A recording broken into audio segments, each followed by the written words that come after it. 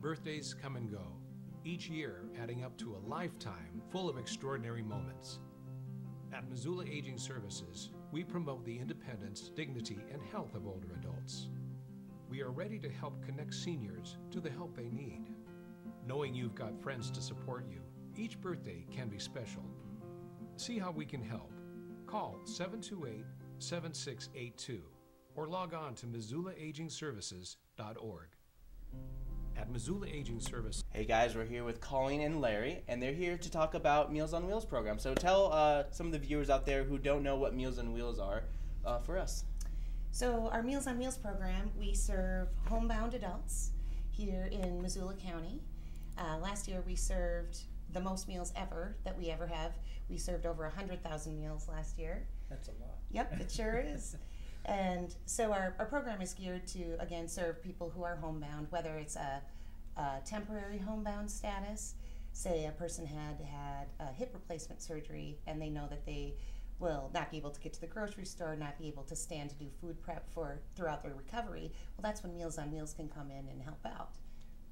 And we'll bring them a good, nutritious meal. Great. Uh, you you also came on here. You're looking for volunteers. You're always looking for um, new people to uh, take on some of the routes here. Yep. But uh, specifically, uh, you are asking for uh, a particular type of volunteer.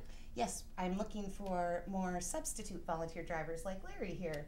So we have 16 routes. Uh, typically, we serve about 300 meals a day. And so each route has about, we, we try to keep them around 20 uh, clients per route. And many of our volunteer drivers have a fixed route.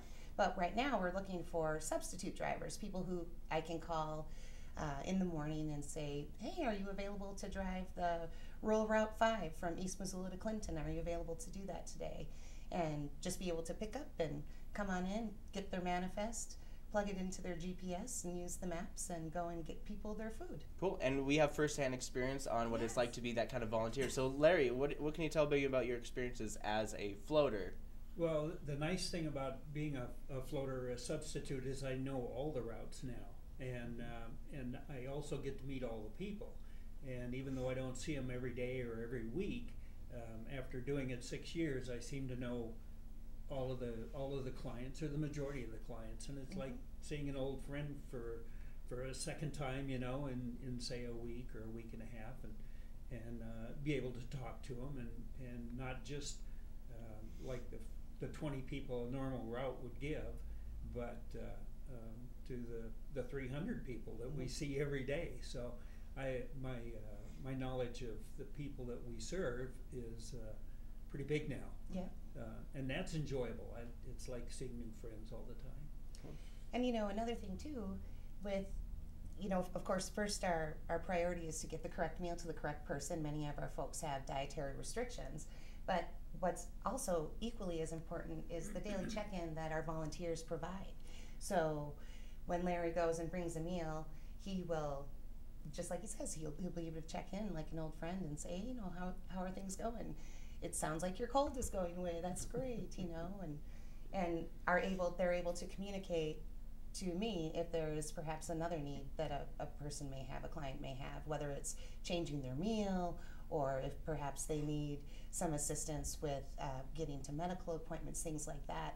Our volunteers report to me, and then I can contact colleagues at Missoula Aging Services to get people the services that they need. So Yeah. it's a it's super important that daily check-in. Yeah, Yeah. yeah, and they, they the clients seem to like it as well. Cool. Very much. So let, let's talk a little bit about the clients. Uh, what, what what variety of uh, clients do you guys work with? Well, again, the, the primary qualifier to receive Meals on Wheels is that a person is homebound to a certain degree. And so we will serve um, uh, adults who are over the age of 60.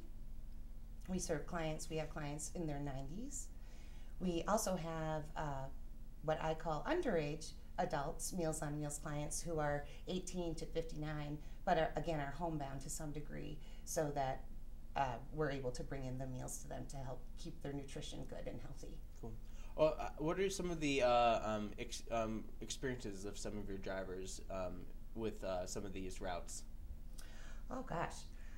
Anywhere Yeah, from going off a road Yeah. in the wintertime, especially. Yeah. Um, um, finding somebody that's uh, that is actually in a in a situation that's an emergency where you're the first one on first one there Mhm. and you're able to uh, uh, summon help which is i mean the whole the whole project is rewarding as far as a driver but those are the situations where you really even feel much much better about what you're doing because you are helping immensely to somebody that needs it Yeah. um, but you know every person that you serve you're you're helping them out Yeah. and uh, and they are appreciative and that's that's rewarding for yourself And it also, all of our volunteers also, in whatever given situation they may they come up, they are living our our agency's mission, which is to promote the independence, dignity, and health of older adults and those who care for them.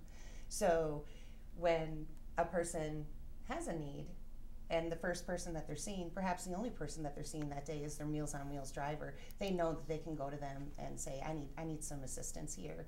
Could you please get a hold of somebody?" Or if it is an emergent situation, they know that the driver can call nine one one Yeah. just like that, and they will stay with them until the EMTs arrive. Cool. Um, is there anything else uh, I haven't really touched on? Um, maybe uh, uh, where can people find more information? Yes, you can always come to our Missoula Aging Services website, www.missoulaagingservices.org. And if you'd like to be a volunteer, uh, you can get an online application there, or you can go to Missoula Aging Services at 337 Stevens um, and get that information, get the, the volunteer application process rolling. Well, uh, thanks, uh, Colleen and Larry, for joining me this morning. Mm-hmm. Yeah, um, thank you. Um, it, they're looking for drivers. They're looking for uh, uh, substitute drivers to uh, take up the uh, the reins Yes. of of driving for people who are in need of uh, meals to have delivered to their home.